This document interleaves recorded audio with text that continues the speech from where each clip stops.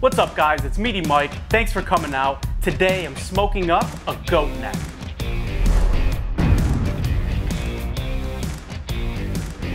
Bah, bah. All right, seriously, on a scale of one to 10, how well do you think that I just resembled making a goat sound? Because I don't want to toot my own horn or anything, but that's gotta be at least an 8.6 for me, because that was pretty good. So, yeah. Ah! Man, I love goat necks. And if you're trying to cook up some goat meat, the neck is a really, really good choice. This is a pretty decent size, just under three pounds.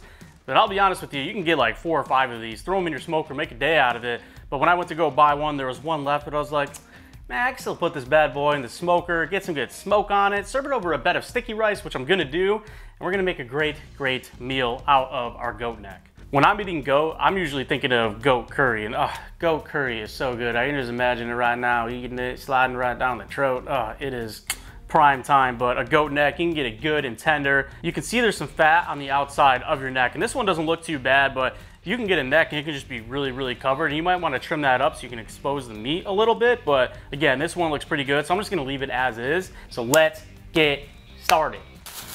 Get yourself a glove.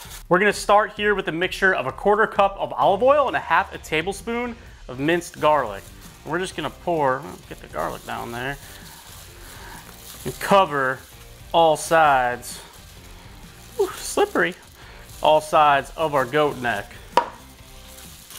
Make a mess, don't matter none. We just wanna get good coverage with the garlic on our neck and that olive oil. And now I have some stuff here for a seasoning. And I probably should have mixed it together before I made a mess with this glove. But that's okay, man. Moving on. So we're gonna start here with two tablespoons of curry powder. Like I just said before, when I think of goat, I think of curry. So I wanna at least implement some of those flavors. So we're gonna get the seasoning together with our two tablespoons of curry powder. Then I have a teaspoon of onion powder, a teaspoon of cumin, a half a teaspoon of ginger powder, a half a teaspoon of ground coriander, and then I have a mixture here of a half teaspoon each, salt and black pepper. Mix it on up. Then we're just gonna cover this up, sprinkle it all over your goat neck.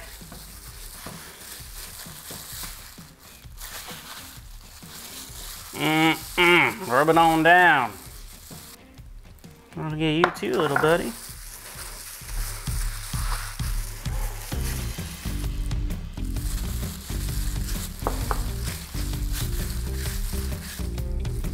We're gonna go down the neck hole.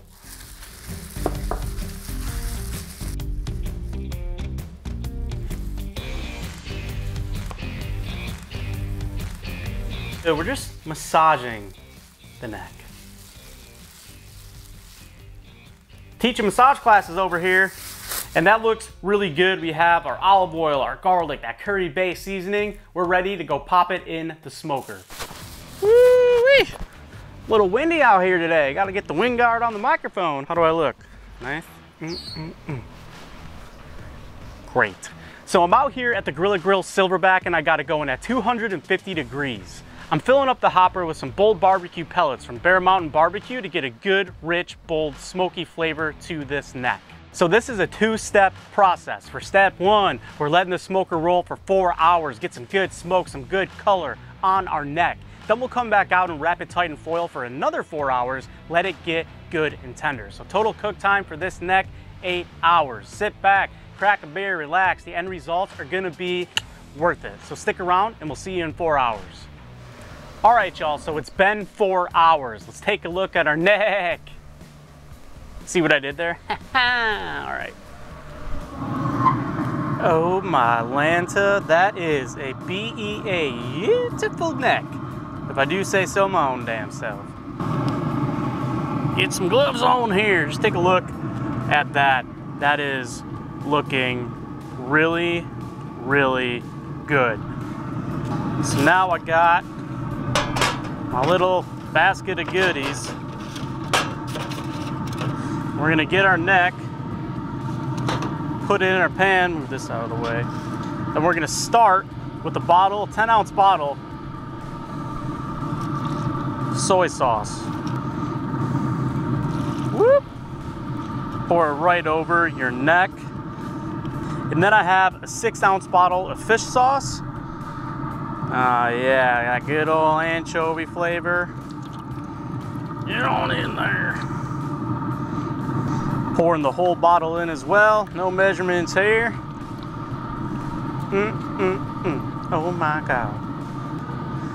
And then I have three tablespoons of brown sugar, help balance out that salt. Give her a nice little shake. And then I have some currywurst sobe sauce from Saus Guru. This has that good curry flavor. And I'm just going, I'm squeezing, this is a 16 ounce bottle. I'm just squeezing it all in there. And getting that nice and covered over our goat neck.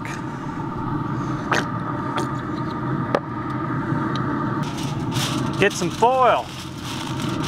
Wrap her nice and tight.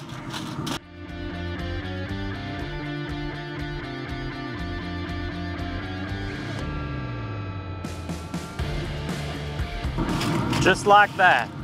Pop it right back in your smoker. Get all this stuff out of the way. All right, and that's it. From here, we're just gonna let it keep rolling for another four hours, and when we hit our eight hour total cook time, we'll pull it and eat. Mm, mm, mm. If this is not a beautiful sight, then I don't know what a beautiful sight is. This goat neck looks perfect. It really, really does. I just put it over a bed of sticky rice. Just follow the directions on the box to do the sticky rice. It's really, really easy. I'm ready to go face first into this goat neck, but first, let's recap what we did a little bit to get to this point. So I just seasoned up this goat neck with a curry-based seasoning. Put it in the smoker for four hours, get some good color, some good smoke on the neck. Then we pulled it out and put it in a pan and cooked it in all that liquid deliciousness. Soy sauce, fish sauce, some currywurst sobe from Saus Guru.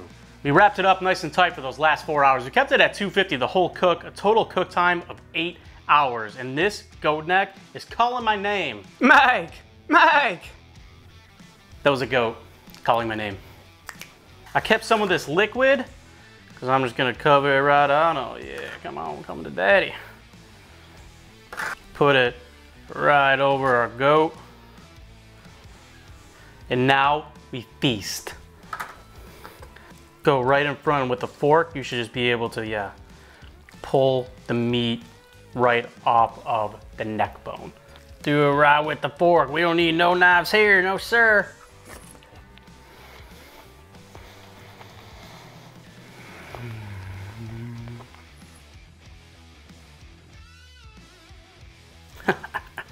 That's the good stuff right there. Whew, I need some more of this.